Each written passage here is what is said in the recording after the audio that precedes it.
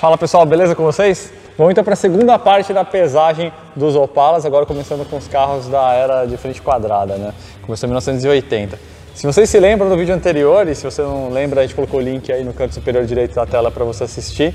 A gente teve aí uma surpresa e tanto aí em relação, talvez até mais em relação à distribuição de peso do que ao Sim. peso total, mas o peso total também surpreendeu bastante. Então, Deu pra constatar que é todo mundo leve. é, todo mundo assustadoramente leve. Então, é, o, meu carro foi o mais leve, é isso? É, foi 1.118 quilos, distribuição 52,48 praticamente, 40, 51 Bem 9, distribuidinho. 48 e 1, chupa BMW.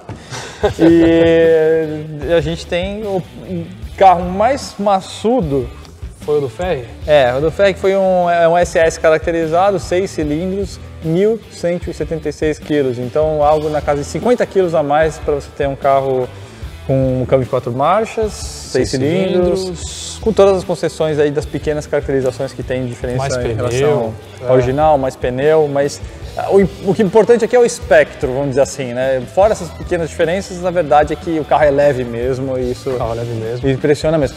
E aí o que aconteceu? O Opala foi o carro produzido por um quarto de século praticamente, né? Então a engenharia evoluiu bastante. O carro, se pegar um carro 90, 92 guiar em relação a um 68, são dois universos completamente Você diferentes. sente, que nem eu falei no outro vídeo, o seu carro guiando, você percebe como ele é leve. É.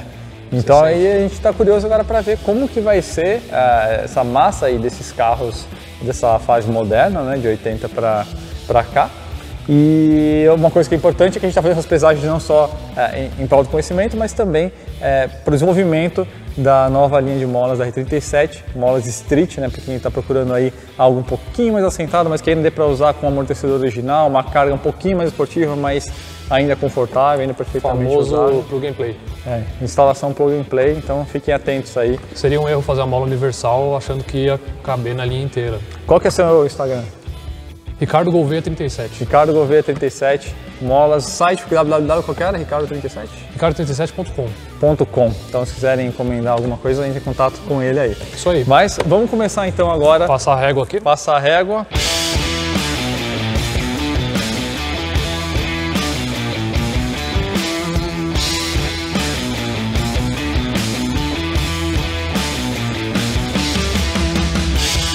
Para começar essa série a gente tem uma unidade extremamente rara aí, o carro do Vitor.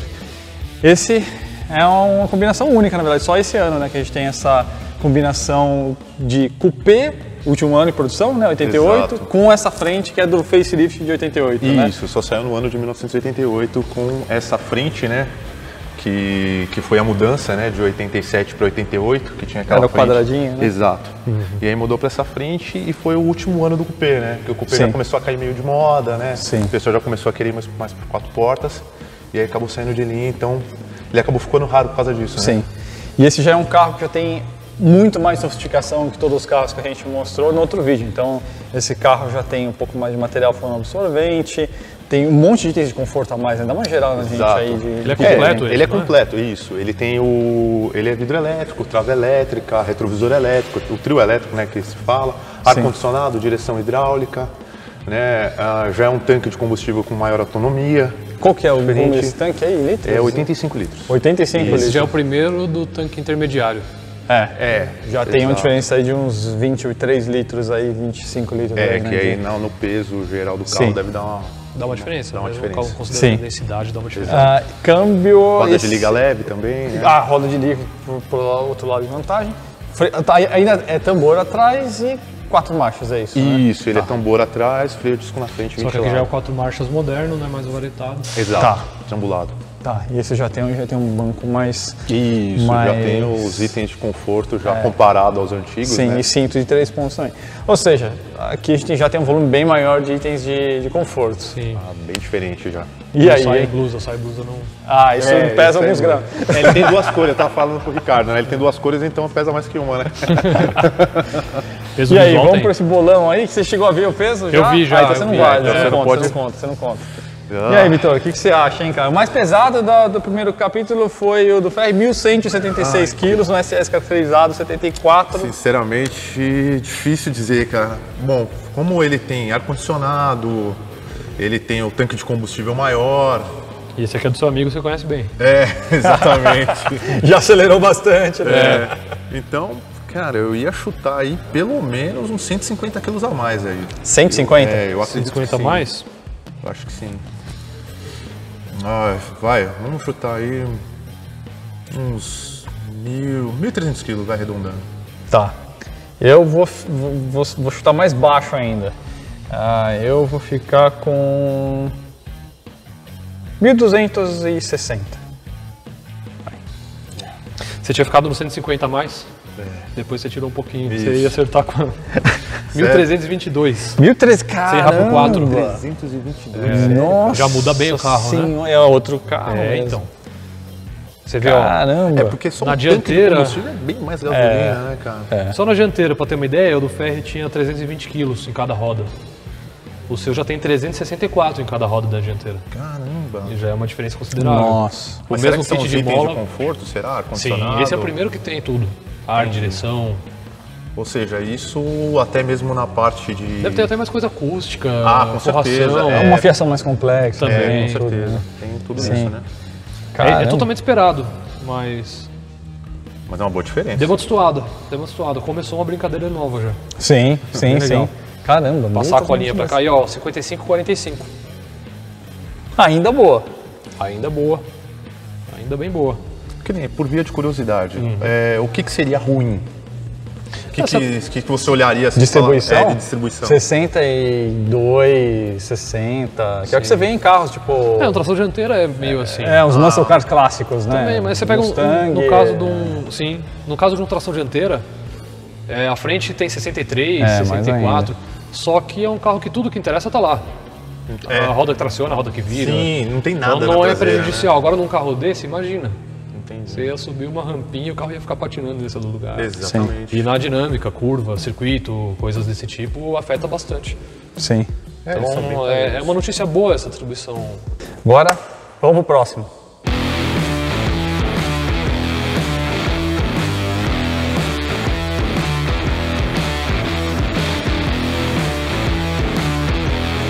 De 88 para 88, mas agora com a Caravan do Felipe. Esse carro também tem algumas diferenças de equipamentos, né? O se o Coupé tinha tudo, esse aqui tem algumas coisas a menos. Quase tudo.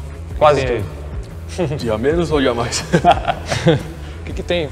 é, de motor tá praticamente original. Tem Seis uma- cilindros. uma- Seis cilindros original, né? Uma Weber 40 só, carburação. Tá, E o escape 6 em 2, mas o restante tudo Já tem o original. 6 em 2. tá. É, de acessórios, ar, direção, Ela não tem ar, né? E direção hidráulica tem.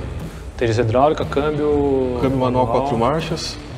É, as travas são individuais mesmo, não é trava elétrica naquela porta. Sim. Os vidros também não são elétricos. Os vidros são elétricos. Ah, vidros elétricos, tá. Então basicamente o que pesa mais ser o ar aí, né, de, de diferença. Sim, né? de, de acessórios, sim. Só que Só tem novidade agora. é uma cara, É uma né? caravan. E aí fica esse dilema aí, né? Porque, bom, Vidro pesa. vidro pesa, a tampa tá para trás do balanço, né, distribuída quase na Sim. vertical depois do balanço. Teoricamente seria uma distribuição mais traseira que o coupé, Sim. ainda mais sem o ar condicionado, né? Sem ar-condicionado. É uma grande incógnita, tem bastante coisa nova. Eu já olhei. É, é bem interessante mesmo. E aí, Felipe, o que você acha? Vamos quer dar uma olhadinha no, no anterior só para ter uma referência? É, eu fiquei bem O curioso. cupê, então, o, o, o cupê do Victor, 1.322 quilos, 55 em cima do eixo dianteiro, 45. Certo. E aqui são os da década de 70. É, Ah, tiver a tá. diferença de 150 quilos mais ou menos, né? Vai, Felipe, você tem que fazer bonito, hein? Tem que dar um, um O pai palpite dele bem deve estar feito aí. assistindo lá. É, foi um bolão Você sabe, aí. né? Ele é da, da Woodstock, né? Ih, ó, tem a resposta, tem a É. resposta aí. Aliás, o Stock também vem aí, já fazendo um, no, um episódio à parte aí depois. Cara, vamos ver então. 1322 para o. Isso. Eu chutaria aí uns 1400. Não, mas eu vou chutar menos. Menos, menos alto tinha porque ar. ele, Ele tinha ar. ar. Ah, ele É, tinha ele ar, tinha isso é ar. verdade. Tem uma grande diferença, né? E aí, Barata, o que, que você acha? Eu não, eu não vou dar uma diferença tão grande de peso por causa da diferença de equipamentos. Então eu vou dar 1340, uma distribuição de peso um pouquinho mais traseira. Você quer mudar o seu? É, faz sentido agora. Vocês falaram do, do- do- Eu não me atentei ao ar-condicionado, é verdade. É, Pra não ficar igual do barato, também eu vou falar 1350. Eu tô louco pra falar quanto que deu isso. Ah, você já sabe. Eu já aí. sei, cara. Não tem graça. Tá, vamos lá. Ricardo não vale. Não, eu já vi, né? Não, teve umas que eu não vi, eu falei coisa tão errada que eu desencanei de participar da brincadeira. Você tá brincando? Igualzinho. Ah, Igualzinho. Você Não, né? tá É, brincando. logicamente, é por isso que é interessante. O peso é igualzinho, Só a distribuição só que não tem ar e é uma caravan. Então. E a distribuição, obviamente, é... Olha, ó, Nossa. olha só. Mas também não é tão grande, né? Mas já é uma distribuição de peso muito mais próxima do, desse tinha universo aqui. dado um... Aqui, ó. Não, é 69. mais pra traseira. O Opel, né, deu uma É. traseira pesada. É. Quer dizer, É, uma distribuição boa, ou seja, muito boa a distribuição de, boa. de peso. Por isso que o caravan é legal de andar forte, né? Por isso Olha que a Caravan só. tá rendendo Ela bem na na Na também, né? Isso que é interessante. Todo Hum. acho- ficou curioso de ver isso, né? Ferrou, agora só vai ter cara no stop É, depois desse vídeo. Vai acabar com as caravas na rua. É questão da aerodinâmica, né? É, tem isso também, toma lá da cá, né? É, como tudo em automobilismo, só tem jeito de saber. É. Falando agora, vamos, vamos pro sedã, 88 também.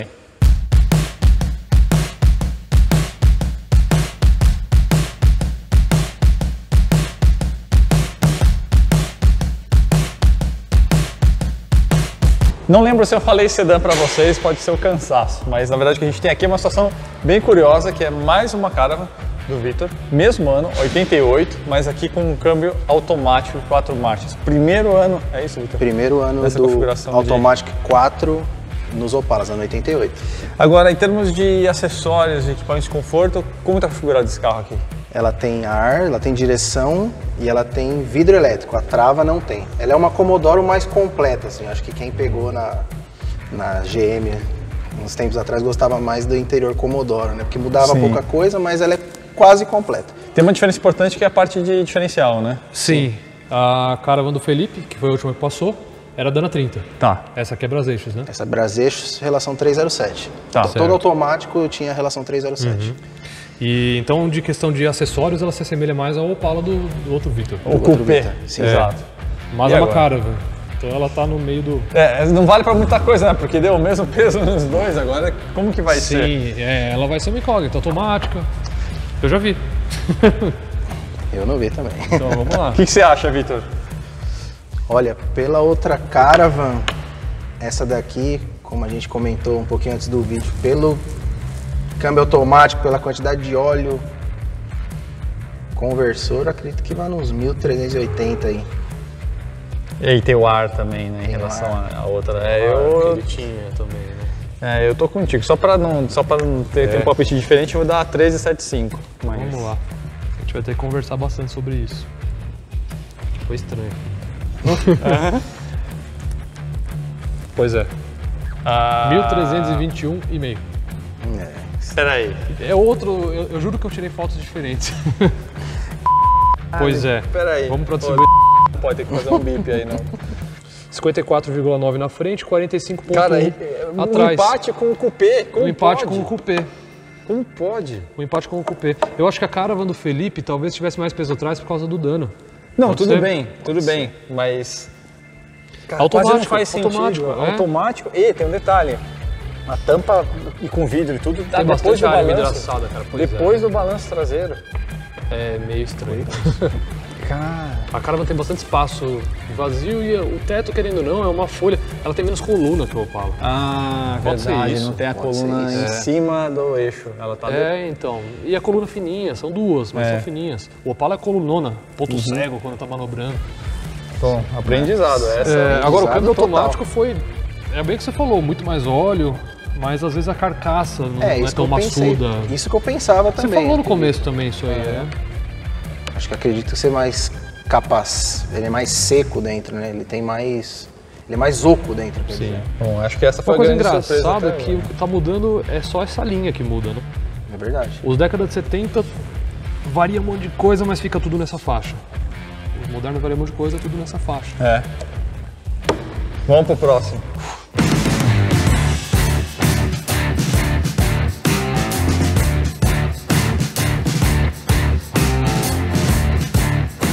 Vitor trouxe pra gente um segundo carro, um sedã, diplomata.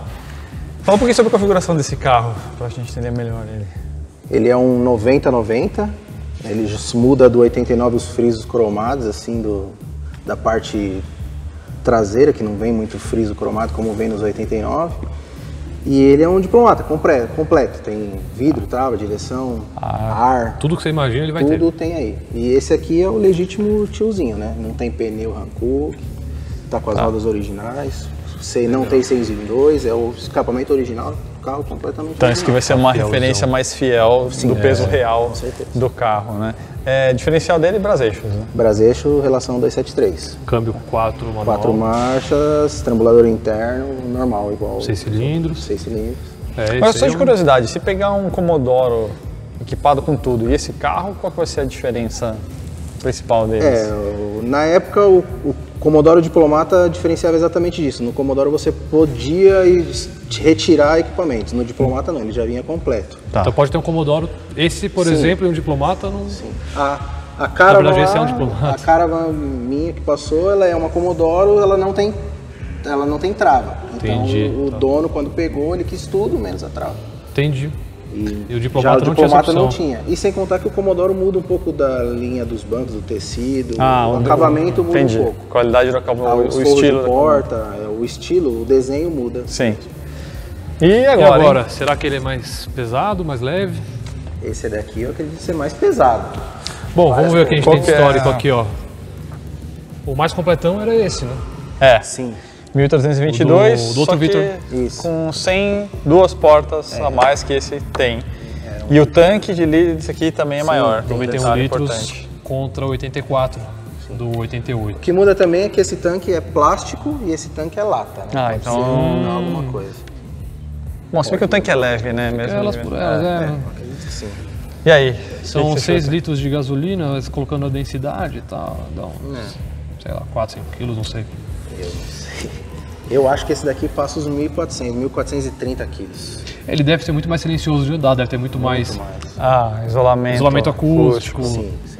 térmico, coisas do tipo. É, né? uma coisa legal de falar também desse carro, eu acabei esquecendo. Ah. Ele já é a mecânica retentor, que já saía no 91 e 92. Ah, tá. Porque 90 tinha essa diferença, que a primeira safra dos anos no- do ano 90 ainda era o motor gacheta e a Tá. partir de junho ou julho, não me recordo direito, já vinha com o motor retentor. Tem certeza? É, não tá pingando, É, tá bom. Bom, vamos lá. Vamos lá. Então, 1.300, vou chutar, vou dar uma chute aqui, vai. Eu não vou chutar tão alto assim, mas certamente mais alto. 1.350, vai. Hum. Olha, errei por 5,5 kg. 1355,5. Eu errei feio. Olha só. Será que de novo o que tá definindo é essa linha, né? Sim, Esse foi o mais pesado mesmo, era esperado. sim. E, e a distribuição aí, hein? 44.8 atrás, Tá. que dá 55.2. Como que ficou a distribuição comparada com os outros? com a cara vai dar muito longe. Vamos ver.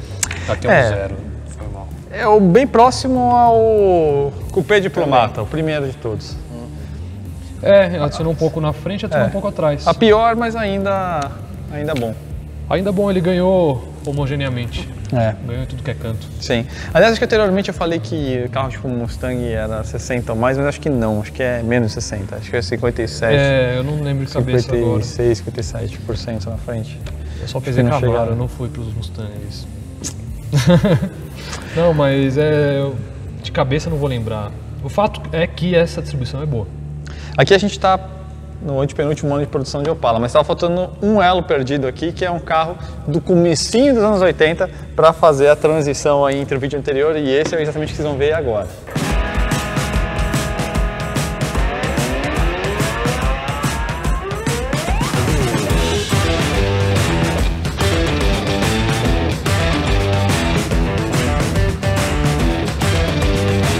Esse aqui é o elo perdido entre o primeiro vídeo e o começo desse segundo vídeo, né? Porque no segundo vídeo a gente tratou aí de maior parte, se não todos os carros eram do fim da década de 80, né? E quando a gente tinha agregado aí uma série de equipamentos e ficou sempre essa dúvida, né? São os equipamentos ou é essa carroceria nova? E esse carro aqui vai trazer essa resposta, né? Porque ele já traz esse facelift, né? 80 esse carro, né? 80. Então a Caravan 80, então primeiro ano dessa- desse design novo aqui, né? Só que o interior, né? E o interior ainda do, do modelo 79 para trás. né? Painelzinho, banco baixo. É, essa é tudo- uma Caravan standard, né? Acho que não tem nem sobrenome de versão, banco baixo. Configuração, inclusive, igual ao do meu Opala, né? Então, Quatro cilindros. do quatro cilindros, só que esse com disco na frente, né? Sim. Se- é, essa é a única diferença, mas sem nenhum luxo, sem nenhuma amenidade, então tudo manual, câmbio na coluna. Uma dúvida que a gente tava era a questão da. Ah, será que a carroceria tem chapa mais grossa, tem mais reforço? É. Será que é acabamento de acústica, É. coisa de interior, banco, painel, tal, tal, tal? Sim. Esse carro vai responder. Tomara. E aí? Vamos lá ver? Vamos lá. Que que, você tem um palpite aí, Fabrício, do que, que você viu aí em relação aos anteriores? Ó, Caso você não tenha espiado o balanço, não sei se você Eu, viu. eu, eu acho que deve ser mais leve. Acha desse que, que todos esses todos- anteriores, que dos anos todos os 80. anteriores. Então vai estar mais próximo desses caras aqui, né? Sim, Exemplo, o, o SS 6 cilindros caracterizado do, Do Ferri deu 1.176 quilos. Foi Né? o mais pesado daquela primeira leva. Foi o mais pesado da, da primeira leva. Então você acha que vai estar mais próximo disso aqui. Eu acho que vai estar mais próximo aqui. Você tem um número aí para chutar? Uns 1.100. 1.100. Estaria no 1.100. Tá. É, 1.100 seria mais leve que o, que o meu coupé, né? Talvez. Difi- é. Então vamos Sim. nos. Hum, 1190. Tá. É, acho que faz sentido. Ah, eu vou um pouco menos, mas não pode ser muito menos também. Então. Cara, de raiva, vou chutar É. exatamente o mesmo peso desse carro aqui. Exatamente mesmo? É, 1176, que é o peso do, do Opala Pois SS é, cara. caracterizado. 1141 e meio. 1140. É, é muito leve, cara. Ou seja, não é o facelift. É acabamento. Leve. é o que o carro foi É agregando. acabamento. Então, muito provavelmente, se a gente pegar um Opala moderno e depenar. Chama os caras de volta aí pra gente depenar um. É, Se a gente depenar ele. lógico, tem os itens de conforto, mas. é, Nossa. Agora o mais legal: 49,7 atrás, 50,3 na frente. A melhor distribuição de É, peso de melhor todos carro, é. os carros. Cara, Esse é muito mais carro de Caramba, corrida que todos. Nossa, o de estoque vai encher de, de, de peru agora. Caraca, que coisa. No- Esse é o verdadeiro chupa BMW. né? Esse, aqui. Esse é. Caramba. A caneta acabou bem no final. Tudo calculado. Pois é. E assim. Eu já tenho como trabalhar. Cara, impressionante, né? É, Muito, ficou muito legal. E um baita aprendizado hoje, né? Muito, muito, muita coisa que a gente tinha por certo foi por terra. Exato. Alguma outra coisa aí E eu confirmada. que- Mas a eu maior parte não é acho que alguém já tenha feito um teste assim. É, é muito conclusivo. Sim, E é muita surpresa mesmo, cara. Não sabia do que esperar. sim. Nem como projetista de molas e tudo mais, nem como amante dos carros. Eu sempre gostei Sim. desses carros. Aprendi a dirigir numa Caravan.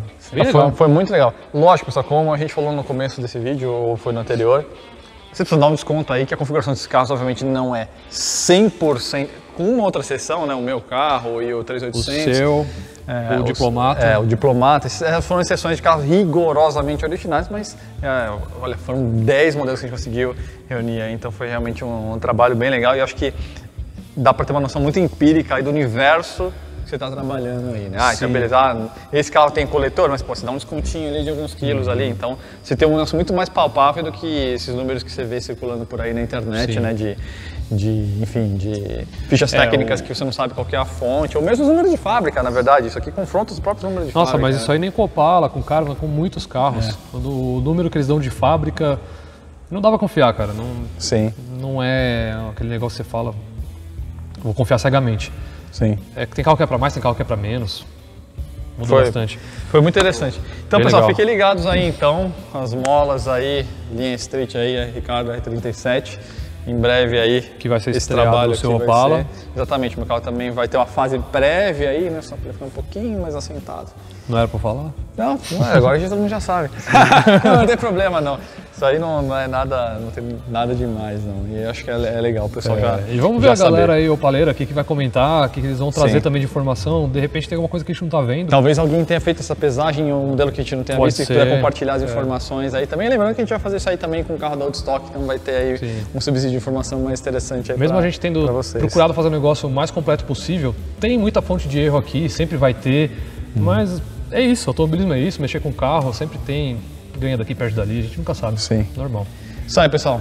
Valeu demais aí pela atenção. Nos vemos na próxima aí. Valeu.